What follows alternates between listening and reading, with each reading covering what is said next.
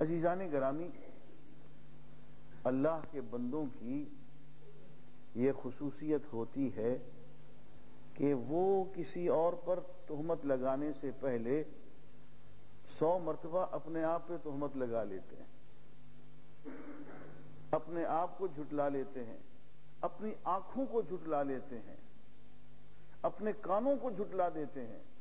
تجھے غلط فہمی ہوئی ہوگی، وہ شخص ایسا نہیں کر سکتا۔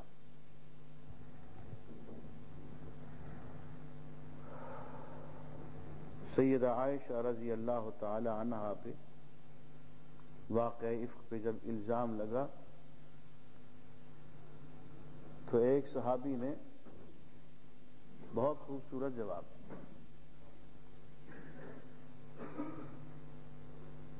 ان سے کہا گیا کہ سیدہ عائشہ کو فلاں شخص کے ساتھ بدنام کیا جا رہا ہے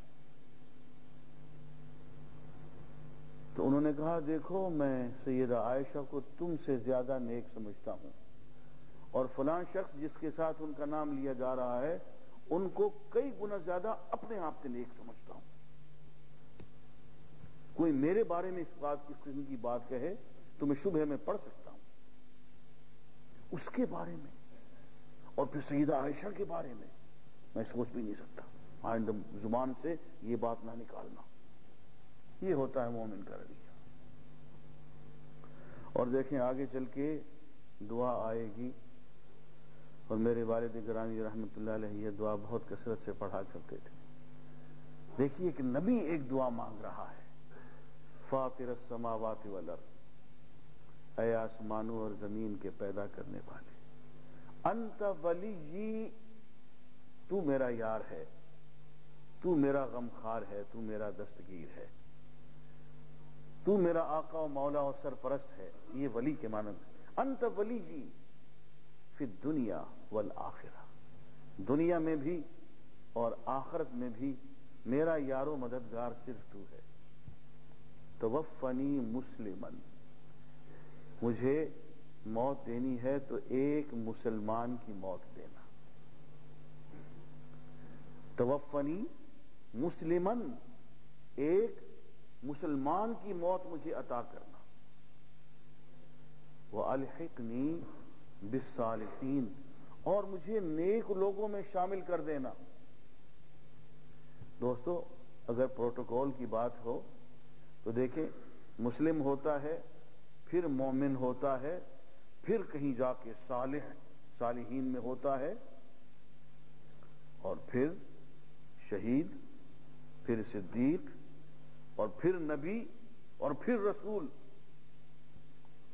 کتنے مقامات بلند ہیں حضرت یوسف کے۔ ایک صالح انسان کے مقابلے میں مسلم، لیکن ان کی آجزی تو دیکھیں۔ جو کم سے کم درجہ ایک مقبول بندے کا اللہ کے ہاں ہو سکتا ہے، وہ مسلم کا درجہ ہے، مسلمان۔ یا ایک نیک بندے کا درجہ ہو سکتا ہے۔ کہ قرآن مجید میں بولا ایک لدین انعم اللہ علیہم من النبیین والصدیقین والشہداء والصالحین. وحسن اولئک رفیقا. تو نبی ہو رسول ہوتے ہوئے نبی کا درجہ بھی نہیں مانگ رہے، صدیق کا بھی نہیں، شہید کا بھی نہیں، صالح کا، نیک آدمیوں میں شامل کر۔ اور ایک عام مسلم کا رتبہ مانگ رہے ہیں۔ یہ ایک آجزی ہوتی ہے دوستو ایک توازو ہوتی ہے۔ اور سچی بات یہ ہے، ہم نے یہ دیکھا ہے کہ جن لوگوں میں جتنی زیادہ توازو اور آجزی ہوتی ہے، وہ اللہ کے اتنے ہی زیادہ مقبول بندے ہوتے ہیں۔ اور میں آپ کو سچ کہتا ہوں، نسبتاً جس نسبت سے کسی شخص کو توازو اور آجزی اور خاک ساری مل جاتی ہے، سمجھ لو اسی نسبت سے اللہ تعالیٰ کی مقبولیت اور اللہ تعالیٰ کا قرب اور ولایت اس کو حاصل ہو جاتا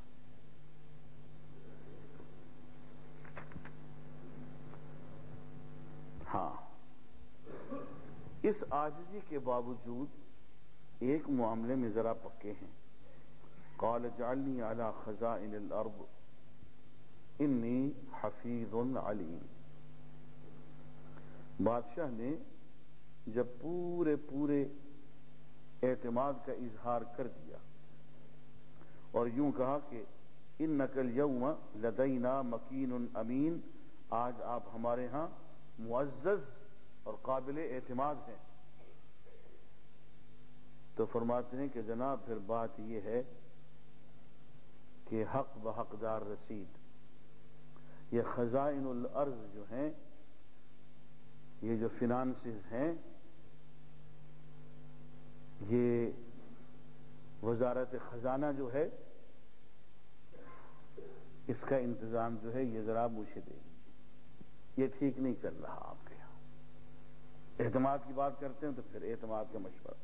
انی حفیظ علیم۔ مجھ میں دو صفتیں ہیں جو اللہ نے مجھے دی ہیں۔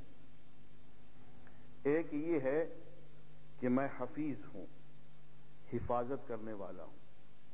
انٹیگریٹی والا ہوں، دیانت اور امانت والا ہوں۔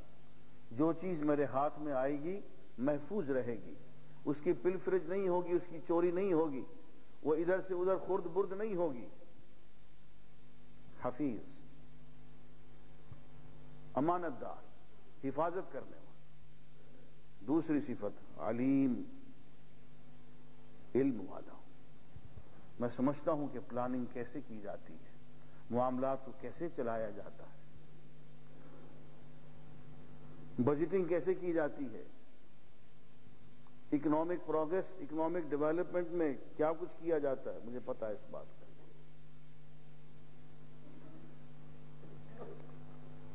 عزیزان گرامی، ایک منتظم کے لیے، ایک بیوروکریٹ کے لیے، ایک حاکم کے لیے یہی دو بنیادی صفتیں ہوتی ہیں۔ ایک یہ کہ وہ ایماندار ہو اور دوسرا یہ کہ وہ اپنا کام جانتا ہو۔